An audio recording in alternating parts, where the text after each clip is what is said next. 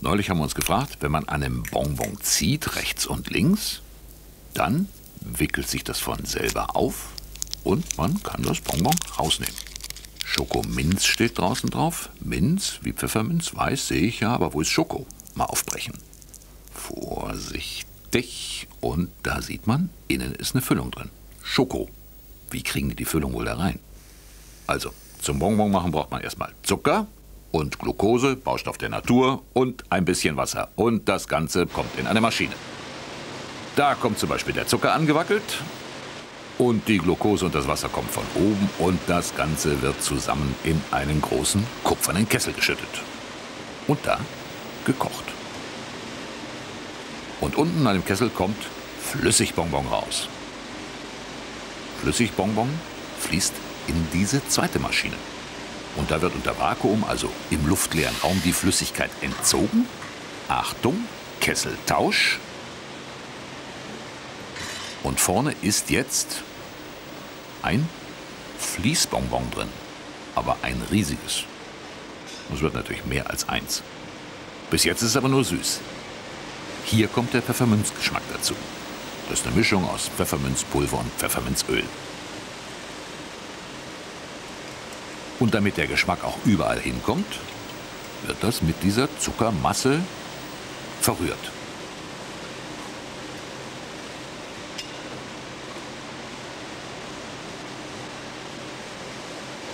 Und jetzt wird diese immer noch warme Masse auf einen sich drehenden Teller ausgekippt und durchgeknetet. An diesem Teller ist noch was Besonderes. Da wird die Masse gekühlt, also immer kälter gemacht. Und immer wieder durchkneten, durchkneten, durchkneten.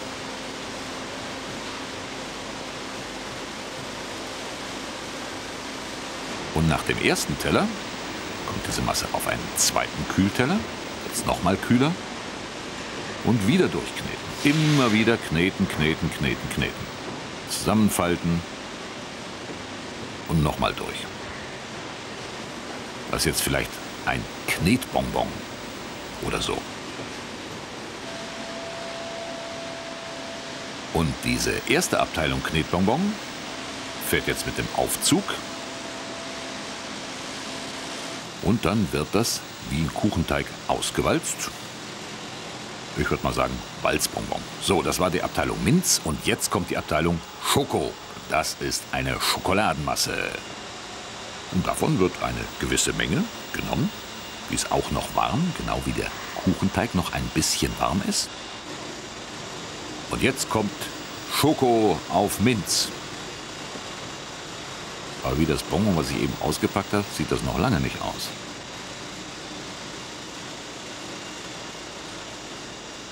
Und dann wird das zusammengeklappt und jetzt ist das ein Schokominzbonbon, aber für Elefanten.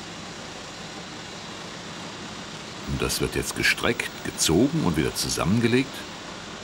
Machen Sie so die Bonbons, habe ich gefragt. Nee, nee, das ist nur die Füllung, haben Sie gesagt. Wir müssen nochmal zurück zur Abteilung Minzmasse. Mit der zweiten Portion Knetbonbon passiert was völlig anderes.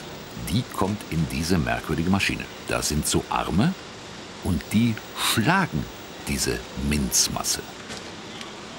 Und die wird dabei langsam richtig weiß. So wie das Bonbon außen aussah. Das dauert eine Weile Und wenn das fertig ist, wird diese Masse von diesen Armen runtergewühlt, gewälzt, gezogen, geschoben und fällt in einen Schacht. Und jetzt kommen wir zur nächsten Maschine. Da drehen sich ein paar Walzen. Und zwischen die sich drehenden Walzen wird die Füllung gelegt und von den Walzen rund gemacht. Jetzt müssen wir einen Moment warten, denn die geschlagene Zuckermintmasse, die eben in den Schacht gefallen ist, ist mittlerweile gewalzt worden. Da kommt sie und kommt als so ein langes Ding an und wird jetzt um die Füllung außen rumgelegt zwischen die Walzen von vorne bis hinten. Also die Minzmasse wird um die Schokomasse drumherum gewickelt. Und wenn das passiert ist, dann sieht man noch was Merkwürdiges. Die Walzen sind oben weit auseinander und werden nach unten immer enger. Die laufen zusammen. Und dadurch wird es eine immer dünnere Wurst, bis es eine Schlange ist. Hier also das Schlangenbonbon. Und so sieht das aus. Außen die Minzmasse und innen die Schokofüllung.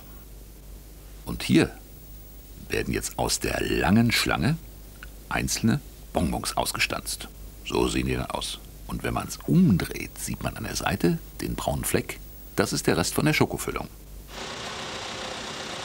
Und aus dieser langen Schlange werden natürlich Hunderte oder Tausende von Bonbons. Die kommen auf dem Fließband, werden dann nochmal abgekehrt,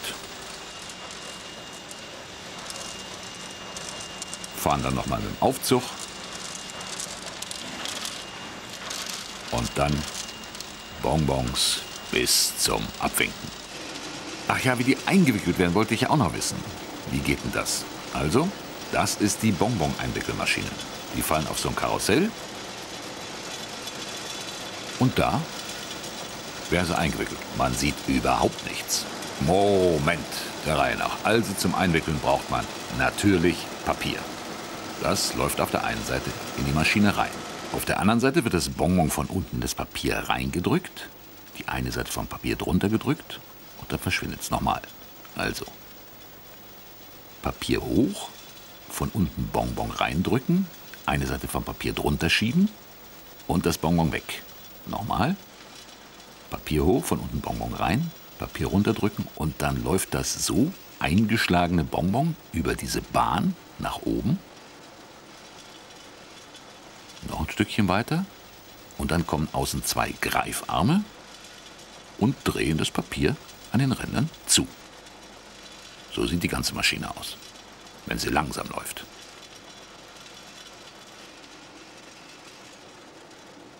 Und jetzt nochmal ganz groß.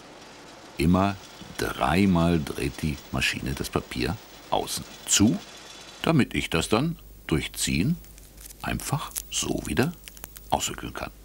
Und all das passiert bei jedem dieser Bonbons.